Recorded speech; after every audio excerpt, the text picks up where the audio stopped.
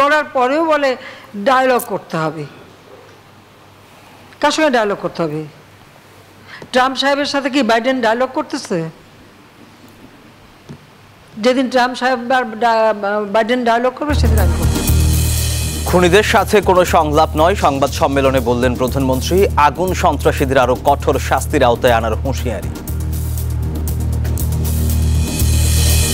শনিবার আওয়ামী লীগ, বিএনপি সহ চুয়াল্লিশটি দলের বৈঠক ডেকেছে CPC. EC, Peter Haas CEC বৈঠক শর্তহীন সংলাপের আহ্বান মার্কিন রাষ্ট্রদূতের। এবং প্রবাসীদের অধিকার সম্পর্কে রাষ্ট্র উদাসীন, দুবাইয়ে বাংলাদেশ প্রবাসী ঐক্য পরিষদের ক্ষোভ, লাশ দেশে পাঠানো নিয়ে ও টাল বাহানার অভিযোগ।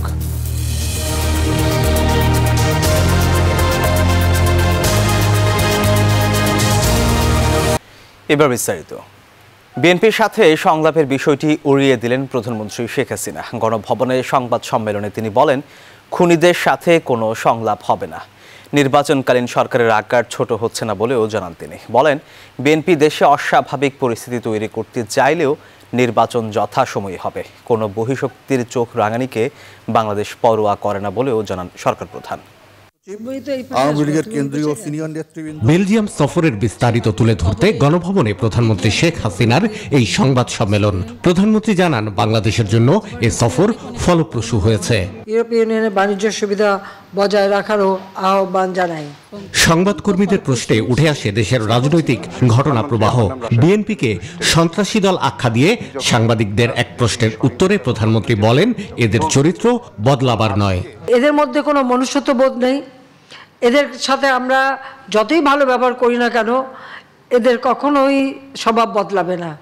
সন্ত্রাস জঙ্গিবাদে এরা বিশ্বাস করে, কারণ ক্ষমতা অবৈধভাবে অস্ত্র হাতে, ক্ষমতা দখলকারী হাতে এদের জন্ম। এরা তো আসলে নির্বাচন চায় না। এরা একটা অস্বাভাবিক পরিস্থিতি তৈরি করতে চায়। কাজে বিএনপি হচ্ছে একটা সন্ত্রাসী সংগঠন, তো সন্ত্রাসীদের কীভাবে শিক্ষা দিতে হবে, সেই শিক্ষাটাই এখন আমাদের দেওয়া উচিত বলে আমি মনে করি। সেটাই আমরা দেব। আঠাশ অক্টোবর বিএনপির হামলায় আহত নিহতর ঘটনায় দেশি বিদেশি মানবাধিকার সংগঠনগুলোর অবস্থান কি জানতে চান প্রধানমন্ত্রী। সাংবাদিকদের সুরক্ষার জন্য যারা সবসময় সোচ্চার, আজকে যখন প্রায় পঁয়তাল্লিশ জন, চল্লিশ জন সাংবাদিক, চল্লিশ পঁয়তাল্লিশ জন সাংবাদিককে পিটিয়ে হাসপাতালে পাঠালো এবং পুলিশকে ওইভাবে মারলো আর এইভাবে আগুন লাগল ধ্বংস চালো তখন তারা চুপ কেন? আমাদের দেশের যে অর্গানাইজেশনগুলি যাদের ওই যে বুদ্ধি বেঁচে জীবিকা নির্বাহ করে আর তাদের বুদ্ধি জ্ঞানের ভাণ্ডার খুঁড়ে ফেলে আজকে সেই ভাণ্ডার বন্ধ কেন? শেখ হাসিনা বলেন যথাসময় নির্বাচন অনুষ্ঠান নিয়ে কোনো সংশয় নেই। নির্বাচন হবে এবং সময় মতনই হবে। কে চোখ রাঙালো আর কে চোখ বেঁকালো ওটা নিয়ে আমরা পড়া করি না। যারা খুন করার পরেও বলে ডায়লগ করতে হবে। কার সঙ্গে ডায়লগ করতে হবে? ট্রাম্প সাহেবের সাথে কি বাইডেন ডায়লগ করতেছে? যেদিন ট্রাম্প সাহেব বাইডেন ডায়লগ করবে সেদিন আমি করব। কেমন হচ্ছে নির্বাচনকালীন সরকারের আকৃতি? জানান সরকার প্রধান। ইন্টারিম ক্যাবিনেট নিয়ে কি চিন্তা? ছোট বড় হবে না এইভাবে চলবে? যে সব দেশে parliamentary system of democracy ah, সংসদীয় গণতন্ত্র আছে সেভাবে যা চলে সেইভাবেই করা হবে। অর্থাৎ সেই সময় আমরা যারা থাকব ওই আমরাই নির্বাচনকালীন সরকার হিসেবে আমাদের রুটিন ওয়ার্ক দায়িত্ব পালন, দৈনন্দিন কাজকর্ম যাতে সরকার অচল হয়ে না যায়, সেটা আমরা করব। নির্বাচন প্রচারণার সময় কোনো মন্ত্রী কোনো ক্ষমতা ব্যবহার করতে পারবে না, আর কোনো রকম সরকারি সুযোগ সুবিধা ব্যবহার করতে পারবে না। এটাই নিয়ম। বিএনপি কার্যালয়ে এক প্রবাসী বাংলাদেশিকে মার্কিন প্রেসিডেন্টের উপদেষ্টা সাজিয়ে যারা দেশের ভাবমূর্তি নষ্টের নাটক করেছে তাদের খুঁজে বের করা হচ্ছে বলেও জানান প্রধানমন্ত্রী Sheikh Hasina. Shah Ali Joy news twenty Dhaka. শনিবার বিএনপি ও আওয়ামী লীগ সহ নিবন্ধিত চুয়াল্লিশটি রাজনৈতিক দলকে বৈঠকে ডেকেছে নির্বাচন কমিশন। নিউজ টোয়েন্টি ফোরকে জানিয়েছেন ইসি সচিব জাহাঙ্গীর আলম। এই সংক্রান্ত আমন্ত্রণ পত্র বুধবার সব রাজনৈতিক দলকে পাঠানো শুরু করবে কাজী হাবিবুল আওয়ালের কমিশন। সচিব বলেন, শনিবার সকালে বাইশটি রাজনৈতিক দল আর বিকেলে বাকিদের সাথে বৈঠক করবেন নির্বাচন কমিশন। ইসি সূত্র বলছে, বৈঠকে দেশের বিদ্যমান ব্যবস্থায় কীভাবে সুষ্ঠু নির্বাচন করা যায় সে বিষয়ে রাজনৈতিক দলের মতামত চাইবে কমিশন। তবে এরই মধ্যে বিএনপির আইন সম্পাদক ব্যারিস্টার কাইসার কামাল নিশ্চিত করেছেন, তারা ইসির আমন্ত্রণে যোগ দেবে না। তবে চিঠি পাওয়ার পর যোগ দেওয়ার বিষয়ে সিদ্ধান্ত নেবেন বলে জানিয়েছেন বিপ্লবী ওয়ার্কার্স পার্টির সাধারণ সম্পাদক সাইফুল হক। আমরা আগামী চার তারিখে সকালে বিকালে নিবন্ধিত চুয়াল্লিশটি রাজনৈতিক দলের সভাপতি অথবা এবং সেক্রেটারি অথবা তাদের কর্তৃক মনোনীত দুইজন উপযুক্ত প্রতিনিধি থেকে আমন্ত্রণ জানিয়েছে। নির্বাচন আয়োজন সংক্রান্ত বিষয় সমূহ সম্পর্কে তাদেরকে অবহিত করা। একদিনই চুয়াল্লিশ দলকে আমরা জানিয়েছি, দুপুরে সকালে শিফটে বাইশটি দল, দুপুরে বিকালে শিফটে বাইশটি দল।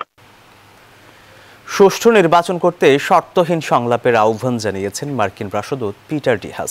গণতান্ত্রিক নির্বাচনের রাজনৈতিক সহিংসতার কোনো স্থান নেই বলেও মন্তব্য করেন তিনি। আর প্রধান নির্বাচন কমিশনার জানান, পরিস্থিতি প্রতিকূল হলেও যথাসময়ে নির্বাচন হবে। নির্বাচন কমিশনে নিজেদের মধ্যে বৈঠক শেষে তারা এসব কথা জানান। মঙ্গলবার সকাল দশটা নাগাদ নির্বাচন কমিশনে আসেন ঢাকায় নিযুক্ত মার্কিন রাষ্ট্রদূত পিটার হাস। এ সময় প্রধান নির্বাচন কমিশনার কাজী হাবিবুল আওয়ালের সঙ্গে ঘণ্টাখানেক বৈঠক করেন তিনি। বৈঠক শেষে সাংবাদিকদের পিটার হাস জানান, আন্তর্জাতিক মানদণ্ড অনুযায়ী নির্বাচনে স্বচ্ছতা ও জবাবদিহিতা চায় যুক্তরাষ্ট্র। এজন্য সব পক্ষ শর্তহীনভাবে সংলাপে বসে অবাধ, সুষ্ঠু ও শান্তিপূর্ণ নির্বাচনের পথ খুঁজে নেবে বলে আশা তার।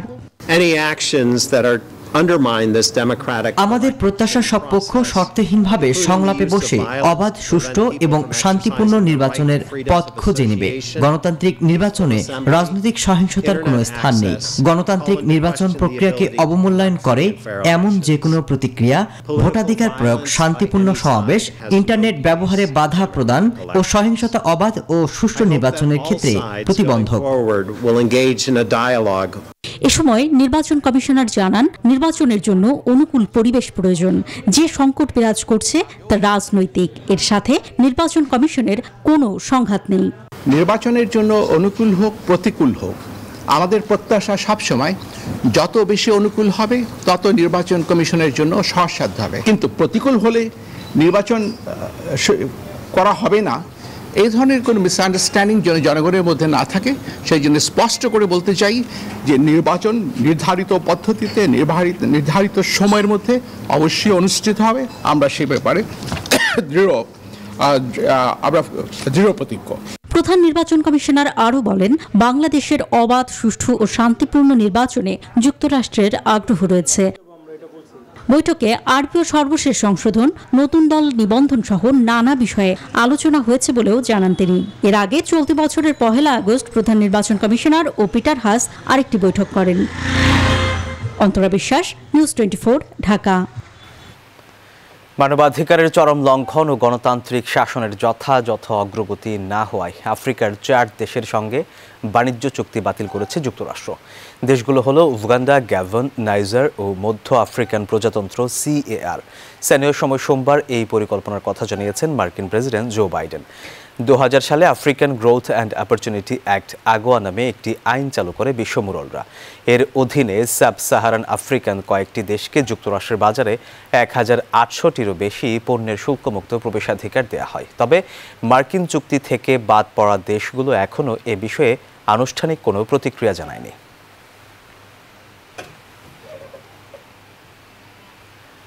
বিশ্বের কাছে বাংলাদেশের ভাবমূর্তি ক্ষুণ্ণ করতে বিএনপি সহিংসতার পথ বেছে নিয়েছে বলে মন্তব্য করেছেন পররাষ্ট্রমন্ত্রী ডক্টর এ কে আব্দুল মোমেন। সাংবাদিকদের সাথে আলাপকালে কথা বলেন মন্ত্রী। আঠাশ অক্টোবর রাজপথে সহিংসতা, পরদিন হরতালে, জ্বালাও প্রয়ের নানা চিত্র সোমবার বিদেশি কূটনীতিকদের কাছে তুলে ধরে পররাষ্ট্র মন্ত্রণালয়। কূটনৈতিক ব্রিফিংয়ে প্রশ্নের সুযোগ থাকলেও কোনো কূটনীতিকের প্রশ্ন ছিল না মন্ত্রণালয়ের কাছে। তবে আঠাশ অক্টোবরের সহিংসতাকে কেন্দ্র করে ফের নিষেধাজ্ঞার গুঞ্জন ওঠে দেশে বিদেশে একাধিক গণমাধ্যমে। র্যাবের মতো পুলিশের উপরও নিষেধাজ্ঞার শঙ্কা তুলে ধরা হয় সেসব প্রতিবেদনে। পররাষ্ট্রমন্ত্রী বলেন, নিষেধাজ্ঞা নিয়ে কোনো দুশ্চিন্তা নেই সরকারের।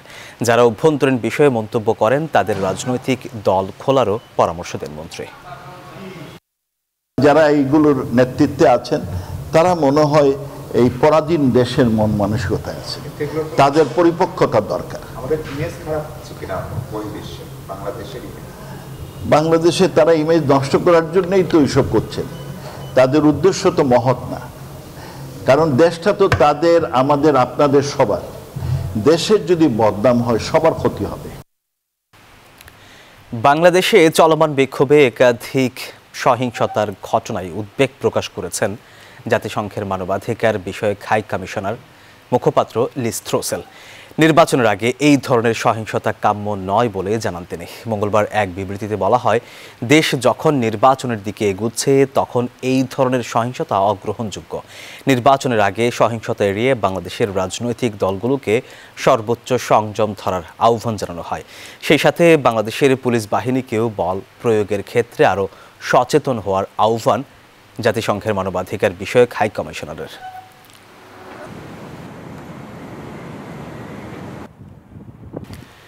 বাংলাদেশে অবাধ, সুষ্ঠু, অংশগ্রহণমূলক ও শান্তিপূর্ণ নির্বাচনের পরিবেশ তৈরি করতে সকল স্টেক হোল্ডারকে সংযম, সহিংসতা পরিহার এবং একসঙ্গে কাজ করার আহ্বান জানিয়েছেন British high commissioner Sarah Cook. মঙ্গলবার সন্ধ্যায় আসন্ন নির্বাচন নিয়ে আলোচনা করতে আওয়ামী লীগ নেতাদের সঙ্গে বৈঠকের পর এই আহ্বান জানান তিনি। ঢাকায় যুক্তরাজ্যের হাই কমিশন জানায়, কমিশনার আসন্ন জাতীয় নির্বাচন নিয়ে আলোচনার জন্য আওয়ামী লীগ নেতাদের সঙ্গে বৈঠক করেছেন। যুক্তরাজ্য সব অংশীজনকে সংযম প্রদর্শন, সহিংসতা পরিহার এবং অবাধ, সুষ্ঠু, অংশগ্রহণমূলক ও শান্তিপূর্ণ নির্বাচনের পরিবেশ তৈরিতে একসঙ্গে কাজ করার আহ্বান জানিয়েছেন।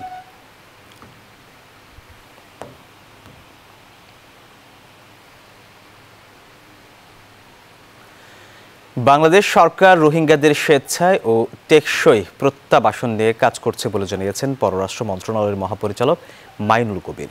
কক্সবাজারের টেকনাফে প্রত্যাবাসন ইস্যুতে রোহিঙ্গাদের সঙ্গে আলোচনা করতে আসা মিয়ানমারের বত্রিশ সদস্যের প্রতিনিধি দলের দিনব্যাপী আলোচনা শেষে সাংবাদিকদের তিনি একথা জানান।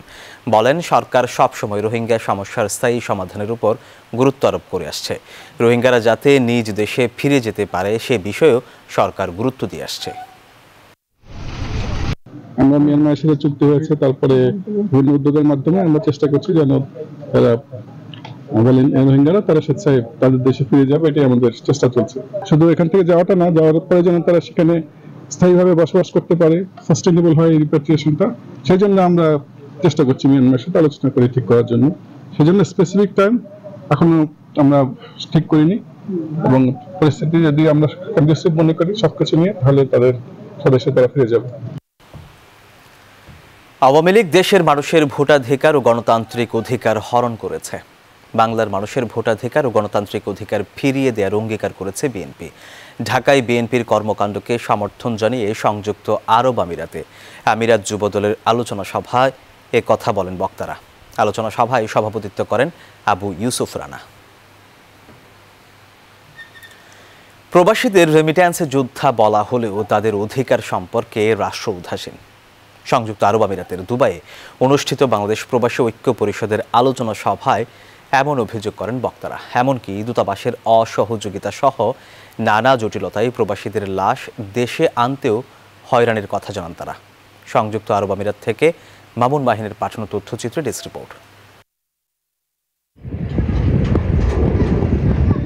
প্রবাসীদের পাঠানো রেমিটেন্সেই এখন উন্নয়নের মূল চালিকা শক্তি। অথচ সেই প্রবাসীরা এয়ারপোর্টের নানা ভোগান্তি, জাতীয় পরিচয়পত্র, পাসপোর্ট ইস্যু সহ বিভিন্ন কাজে হয়রানির শিকার হচ্ছেন। এমনকি প্রবাসী মারা গেলে তাদের মরদেহ দেশে পাঠাতেও নানান অজুহাত ও টালবাহানা দেখা যায়। সংযুক্ত আরব আমিরাতের দুবাইয়ে বাংলাদেশ প্রবাসী ঐক্য পরিষদের দ্বিতীয় প্রতিষ্ঠা বার্ষিকী ও আলোচনা সভায় এমন অভিযোগ করেন বক্তারা। এই দাবিটা আমি সরকারের কাছে উত্থাপন করতে চাই, যেটা হচ্ছে যে প্রবাসীদের লাশ নিয়ে। প্রবাসীদের লাশ নিয়ে অনেক ভোগান্তিতে ভুগতে হয়। বাংলাদেশি প্রবাসী মৃত্যুবরণ করে, তাদেরকে দেশে পাঠানোর জন্য চেষ্টা করে যাওয়া।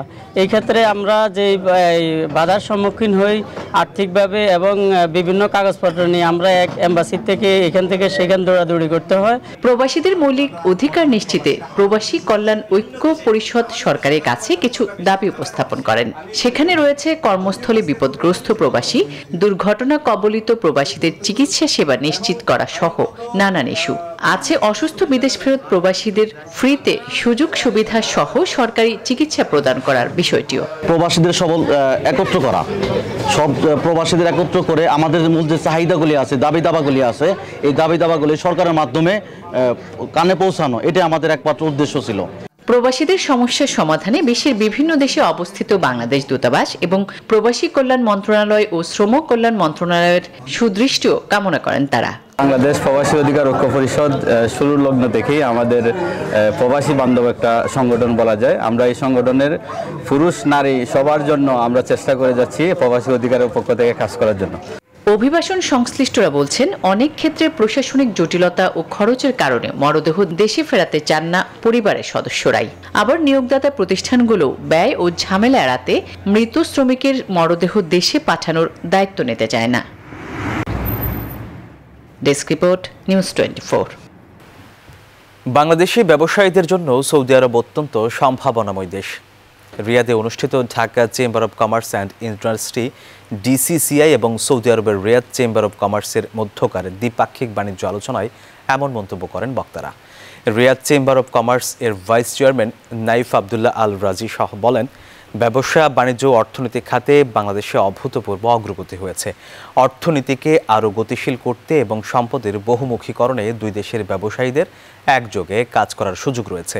আগামীতে সৌদি আরবের সম্ভাবনাময় বিনিয়োগ খাতসমূহে বাংলাদেশের উদ্যোক্তারা আরও বেশি বিনিয়োগে এগিয়ে আসবেন বলে আশাবাদ ব্যক্ত করেন তারা।